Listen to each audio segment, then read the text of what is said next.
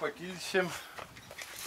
Nes jau dar va nuo žemės pakilijau. Taip, Jau va, 75. penki. Taip, Dar dvi eilės uždedam. tokio pat, va taip Ne, ne, eis. ne, ne, jau čia ne. Ten Dvi eilės tiesias. Ly, lygiai čia jis. Mhm. Matysit. Taip, taip. Kažką. O čia irgi bus lenkiama ar tiesiai? Kur? Va šį čia. Lenkiame. Lenkama. Taip pat, ar ne? Aha. O paskui jau dėsis tiesiai viskas, sulyginama. Mūrsysis. Ir Supratau. paskui čia nusmūris dar va iš čia plytos dėsis.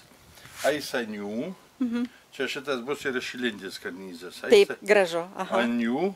Ir tada ta, maždaug čia reiks dvieilės dar pakelti. Taip, taip. Ir tada, ką paskelsi, išlygysim, čia užlėsim. Tada dar kelsis vienai nedėsi šamotas. Ir paskui po šamoto dar vienas šamotas padas, kad kai skiepimas gerai, labai gerai. Labai gerai. Ir aukščiai gerai išeina. Labai. Išarus. Toks mažas. O, tai kaitrumas bus labai geras. Jo. Temperatūra. Ai. Čia aukščiau negalima. Suprantu. Duonkepiai senovien buvo tokie tik daromi duonkepiai. Suprantu. Visi aš, nu viskai technologijos Taip, taip. senovės. Mhm. Tai gerai, nes aš pasiskaičiau Reišku, dabar žiūri internete, dar- sukrauna malkas, aš tik tai to- tokį va noriu pasidalinti, nes internete labai daug visokių ir nesąmonių, sąmonių, nes kadangi nežinai praktiškai, tai skaitai, vieni parašyta.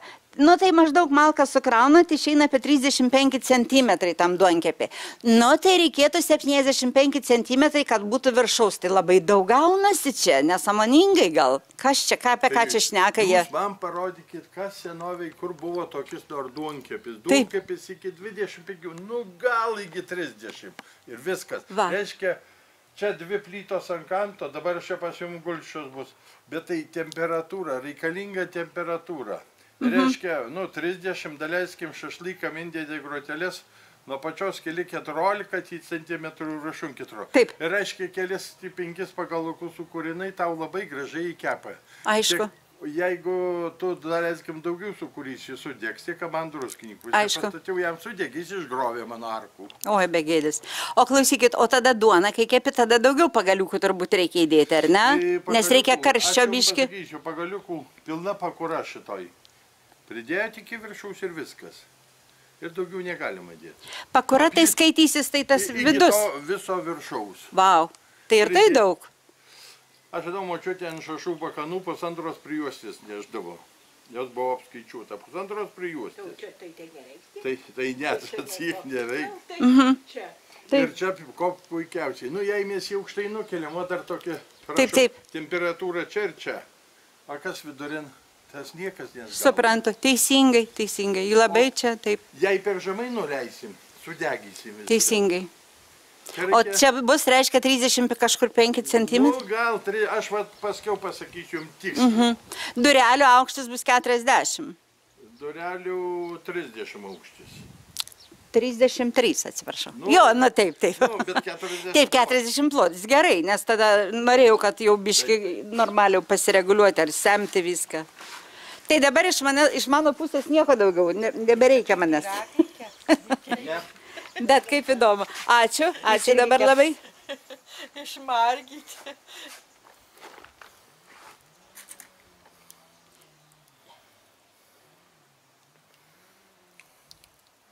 Jis subėga paskui, jis jau matosi, kad vėl tuštumas pasidarė. Nu, neduos jam Taip, taip. viskas užkietės. Mhm. Tik pačio priekio negaliu jų įpilti. Reiks tas dėtmolis, kur mūrinu. Taip, taip. Spalva. Nesimatysis, jo. Spalva čia.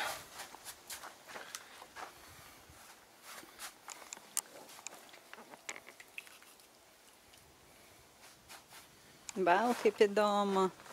Tai jūs čia šitą visą pats sugalvojot? Taip, aš niekur nesu niekur. Labai protingai. Na čia labai logiška ir labai protinga.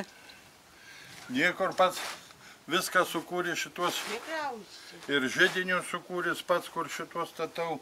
Niekur net nenukopijavęs nunyko. Dėl to jis ir garsėja žmogus. Taip. Kadangi Taip. jį veža iki šimto kvadratų, tai žinot, šis tas. Taip. Tai dabar užpilsim ir jis turės ketėti, užsidengs ir stovės taip, ar ne? Ne, išmesim, viskų šardysim. Šiandien? Taip. Aikit. Ką aš Nu, Valo. viskį pabus ir viską išmetu. Tai tuos tik tai e, pagaliukus, o visą Ne. irgi? Visą, visą, visą. Vau. Bet jeigu lietus, tai uždengsit, gal ir paliksit? Ne, kai jie lietus, tai Taip, taip. Vau, tai čia greitai labai stingsta, o čia cementas toks pat natūralus, normalus, ar koks e, Čia jo. numerius kažkokius turi? 600 markės čia atsimenat. Supratau, va, taip ir labai svarbu. Ir molio tie milteliai natūralūs, kur parduodami parduotuvėse, ar ne? Nu, čia yra jų visokių, yra pilkų, raudonų, dar tik kokios spalvos, bet raudoni daugiau duoda vaizdų. Taip, gražu. Labai gražu. Į tamsumas toks yra, nu ką tu. Labai tinka prie plytos. Dabar reikia nešką nuo nu, kibirų, nukelkim dar lengvesnį.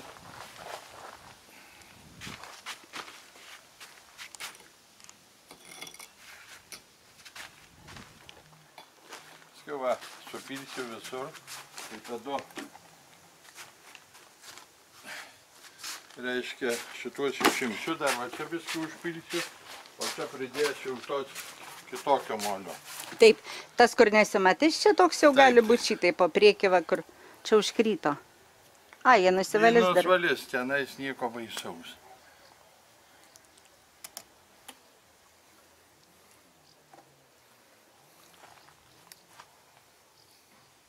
Vau, kaip fainai. Ir labai labai protingai. Nes čia su sunkiu, tai ką tu čia O dabar neprikiši? dvi eilės apsidės. Šita, šita ir paskui vainikas, čia užsidės priekis ir užliejimas ir tada palikam džiūvimu. Aišku. Bet turi būtinai džiūt gerai. Jei neišdžiūs, tada man darys problemas į pečius.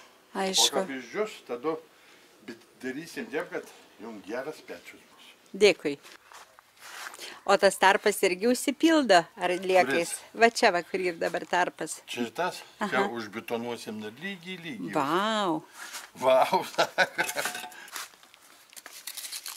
Pabiskio visur. Dar šlapia.